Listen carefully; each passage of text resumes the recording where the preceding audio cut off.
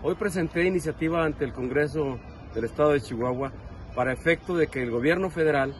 el Ejecutivo Federal López Obrador, se sume a la Convención Interamericana de Derechos Humanos de las Personas Adultos Mayores. Esto significa y es una respuesta a una preocupación genuina del grupo parlamentario del PAN por los adultos mayores, para que sean atendidos en plena